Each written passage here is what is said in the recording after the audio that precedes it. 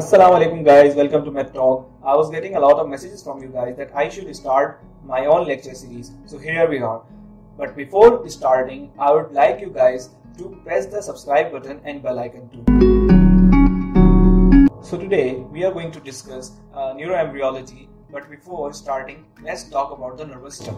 What is the nervous system? A nervous system is a group of cells that works as a conduction of electrochemical stimuli from sensory receptors through a network to the site at which a response occurs.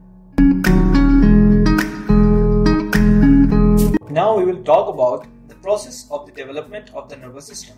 But before starting, I will talk about the difference between notochord and neural tube because most of these students get confused. Notochord arises from the mesoderm and neural tube arises from the ectoderm. Notochord induces the development of the neural tube and neural tube give rise to the brain, spinal cord and other neurons. Let's talk about neurulation.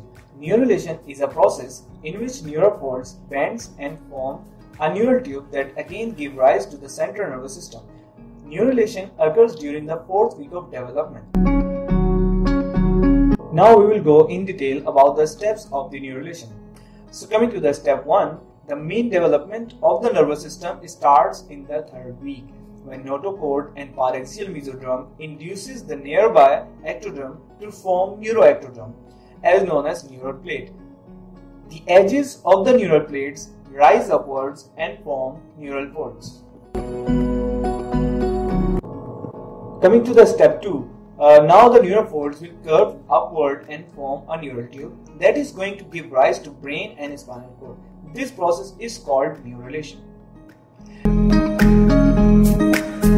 We already talked about neurulation in neurulation definition uh, that it happens uh, during the fourth week of development. The step 3. Now the remnants of the neural folds will form neural crest cells. Neural crest cells are different from uh, the neural tube because they will further migrate to different parts of the body and give rise to the peripheral and autonomic nervous system. As you can see in the picture how neural plate uh, forms neural folds and neural grooves and then neural folds form the neural tube. That's it for neuroembryology part 1. I'll make another video and we will discuss in detail about the further processes uh, of development of the nervous system. Stay tuned and if you like this video, share it with your friends and do give your reviews in the comment section. And if you have any questions regarding this topic, you can ask. Thank you. Uh,